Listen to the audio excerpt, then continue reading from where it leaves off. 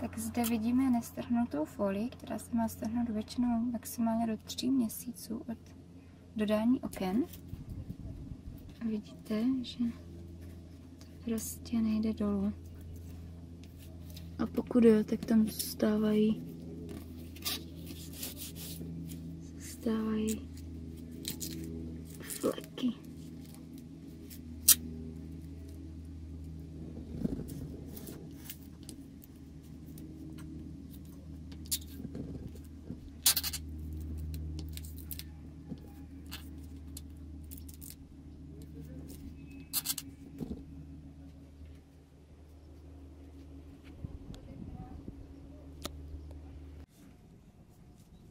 Tady máme další případ toho, kdy se pozdě strhává folie z oken.